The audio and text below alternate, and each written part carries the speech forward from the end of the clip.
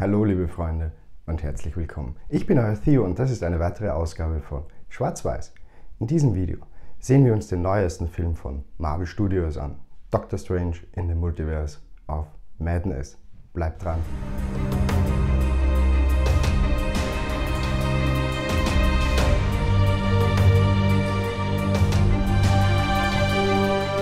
Vor ein paar Tagen durfte ich mir im Kino Doctor Strange in the Multiverse of Madness ansehen. Und ich kann euch sagen, seit Avengers Endgame ist es der beste MCU-Film in den Kinos.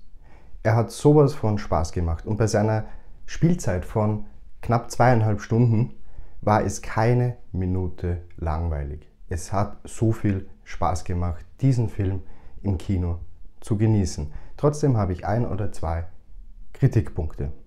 Werfen wir kurz einen Blick darauf. Es beginnt actiongeladen. Es beginnt im Multiverse. Und dieses Tempo, was wir schon in den ersten fünf Minuten zu Gesicht bekommen, wird über den ganzen Film hinweg aufrechterhalten. Nur unterbrochen durch ein, zwei dramaturgische, dialoghafte Szenen, die entweder die Hintergründe der Charaktere beleuchten oder zur Weiterentwicklung dieser beitragen. Dann kommen wir gleich zu den Hintergründen und zu den Beweggründen der Charaktere. Es wird ja das eine oder andere Mal erwähnt, man solle Spider-Man No Way Home gesehen haben. Es wird das eine oder andere Mal erwähnt, man solle Wonder Vision gesehen haben. Braucht man nicht. Keine Sorge, wenn ihr eines von beiden nicht gesehen habt, ich kann euch versprechen, ihr werdet den Film genauso genießen, als wie wenn ihr die Serie oder den Film gesehen hättet. Ja, ein oder zwei Verweise, die werden vielleicht nicht so deutlich verstanden werden, aber man braucht es nicht, um den Film dramaturgisch zu verstehen. Auch bei Wanda ist es nicht unbedingt notwendig, die Serie gesehen zu haben, weil sie es schaffen in dem Film, ihre Beweggründe, warum passiert was, genau zu erklären, ohne zu viel Zeit darauf zu verwenden oder etwas noch einmal zu wiederholen. Beziehungsweise, wenn es wiederholt wird, dann ist es sehr subtil, dann ist es eher so als Referenz auf dieses Werk zu verstehen und nicht als Voraussetzung. Für Doctor Strange und die Connection zu Spider-Man No Way Home ist es bis auf ein oder zwei Sätze überhaupt nicht notwendig, diesen Film gesehen zu haben. Es wird in einem Satz mal kurz Spider-Man erwähnt, es wird darauf referenziert, auf die Ereignisse von No Way Home. Das war's. Ja, Spider-Man No Way Home ist quasi der erste MCU-Film, wo wir explizit und tiefer in das Multiverse vordringen, aber hier sei auch gesagt, es wird genug in Doctor Strange in the Multiverse of Madness erklärt bzw. gezeigt. So ist es nicht unbedingt notwendig, diese Filme, diesen Film gesehen zu haben. Auch die Serie What If wird eher referenziert bzw. auch nicht ganz äh, explizit referenziert, sondern es gibt Parallelen, sagen wir so. Es gibt Parallelen zu What If, was auch diese Serie nicht unbedingt als notwendig notwendige Voraussetzung macht, um den Film genießen zu können. Doctor Strange ist wie gewohnt sarkastisch und in gewisser Art und Weise vielleicht uneinsichtig, aber er macht eine gute Entwicklung, eine gute charakterliche Entwicklung in diesem Film durch. Vor allem in Bezug auf die anderen Doctor Strange aus den Paralleluniversen erfährt man viel über seinen Charakter. Auch wenn er sich jetzt seltsam anhört, es sind doch immer irgendwo die gleichen Züge von Doctor Strange wiederzufinden. Der Film dient auch sehr gut dafür, Doctor Strange als neuen Anker, als Charakter, der alle wichtigen Ereignisse im MCU verbindet, vorzustellen und einzuführen nachdem ja Iron Man in Avengers Endgame sein verdientes Ende gefunden hat, ist Doctor Strange eine logische und gute Wahl, hier weiterzumachen. Wanda bzw. Scarlet Witch ist definitiv die Überraschung des Films. Ich muss ja gestehen, ich hatte über den Zeitraum von WandaVision bis Doctor Strange in der Multiverse of Madness zwei oder drei Theorien, in welche Richtung der Film gehen könnte. Und man muss hier wieder Marvel loben in seiner Einfachheit und in seiner Effektivität. Der erste Eindruck. Der Film ist so, wie der erste Eindruck von mir gewesen ist, wie so meine erste Interpretation während WandaVision war, wie der Film sein könnte. Will damit sagen, von der Handlung her könnte man als es äh, als Enttäuschung wahrnehmen. Ich hatte auch dann so im, im, im Verlauf meine Theorien etwas ausgedehnt und größer gesponnen in Richtung ähm, Einführung der Mutanten, in Richtung Veränderung der tatsächlichen Realität des MCU. Inwiefern das jetzt in diesem Film verwirklicht wurde, ist subjektiv. Das, das muss jeder für sich entscheiden. Für mich war es hier in Bezug auf meine Theorien ähm, jetzt nicht eine Enttäuschung, weil ich es gut finde, wenn Theorien so nicht passieren, wie man sie sich gedacht hat, weil dann wäre es ja vorhersehbar und niemand hat Spaß an einem vorhersehbaren Film. Und das ist hier definitiv nicht so. Aber ich kann verstehen, wenn jemand sagt, okay, gut, das wäre meine erste Intuition, keep it simple und das ist mir gezeigt worden, das äh, flasht mich jetzt nicht so. Kann ich auch verstehen. Aber für mich ist es eine Spur weit das Erfolgsrezept von Marvel. Keep it simple, einfach, einfach strukturiert, einfache Story, leicht zu erzählen, leicht als Solofilm zu inszenieren und das ist eben das Erfolgsgeheimnis der Marvel MCU-Filme. Sie funktionieren im Konstrukt des MCU mit Referenzen und Anspielungen genauso gut wie als einzelnes Werk. Das war noch bei jedem Film so. Und das ist auch wichtig, dass auch Menschen, dass auch Zuseher abgeholt werden, die nicht alle Filme im MCU kennen und trotzdem Spaß an einem Film haben können oder an einer Serie. America Chavez, die wir ja schon aus den Trailern zu Genüge kennen, ist für sich genommen jetzt auch nicht die große Überraschung des Films. Sie ist äh, Object of Interest, also es dreht sich um sie, sie ist der Kernpunkt der Handlung, sie ist der Grund für die Handlung, aber das kennen wir ja schon aus den Trailern.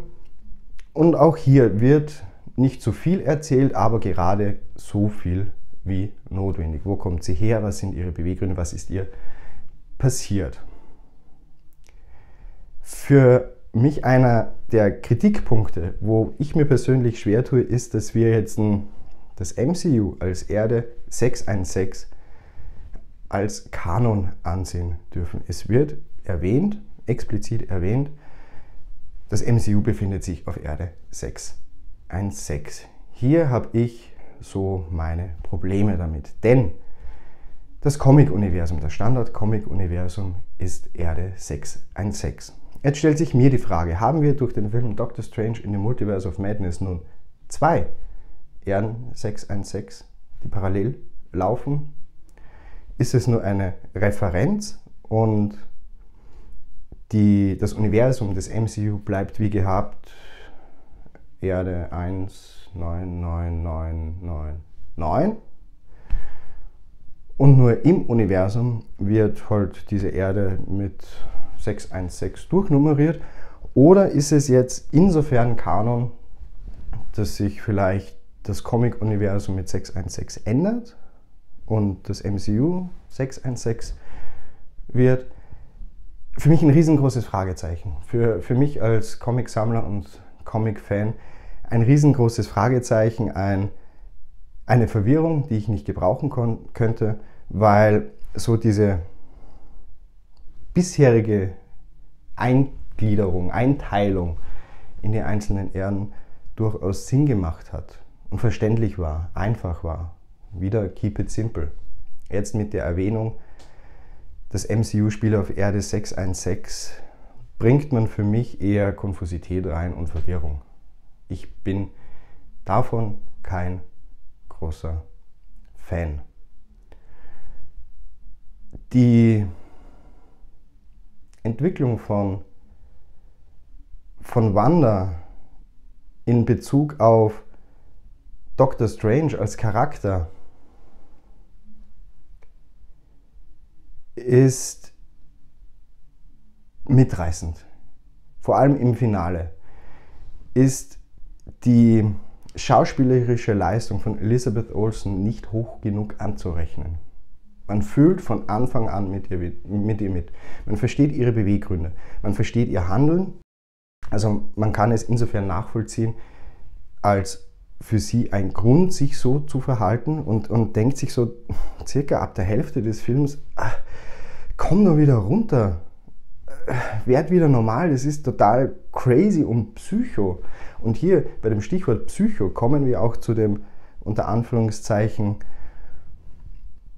Tag des Films Horrorfilm.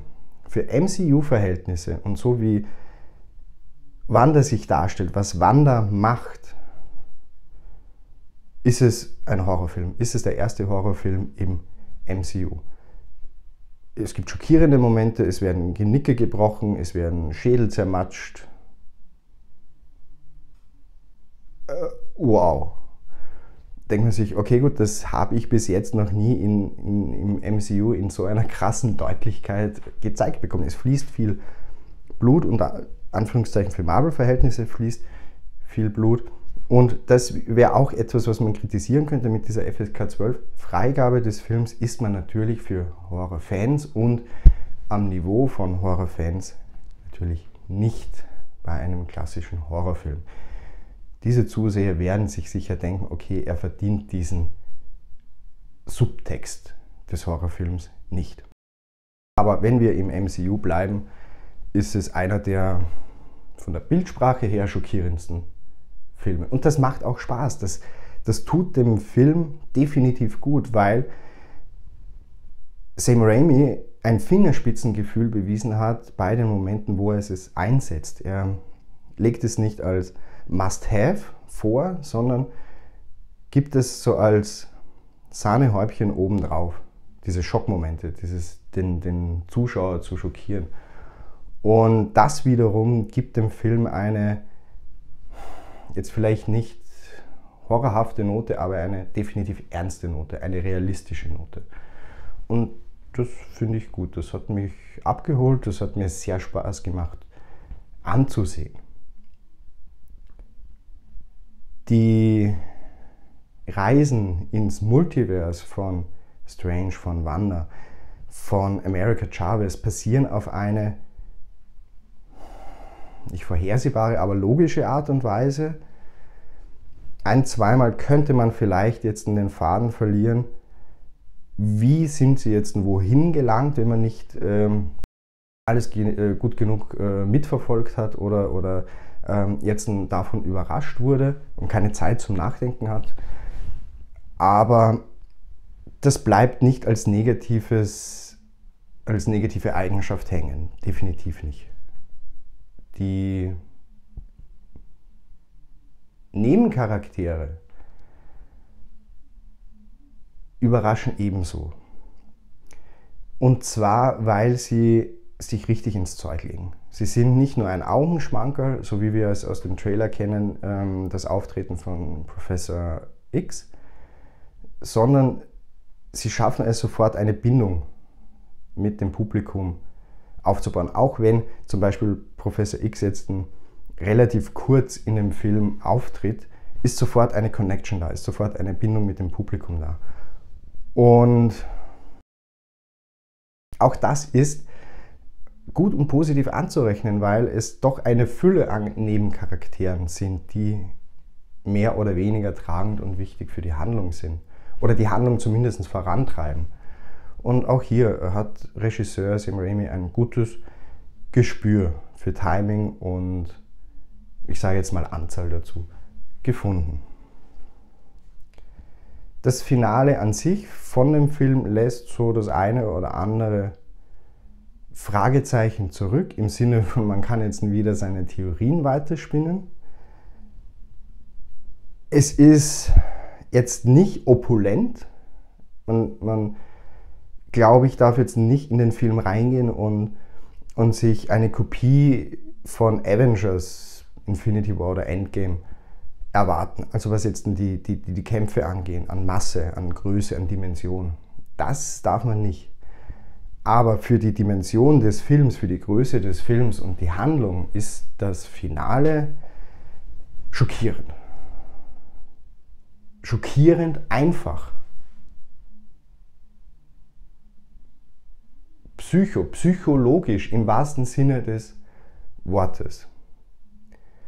Ohne jetzt hier zu viel zu verraten und zu spoilern, alleine nur für das Finale würde ich wieder in diesen Film gehen und mir diesen Film ansehen. Alleine nur für die 10 Minuten am Schluss würde ich mir die restlichen 110 Minuten, 130 Minuten auch lieben gern wieder ansehen.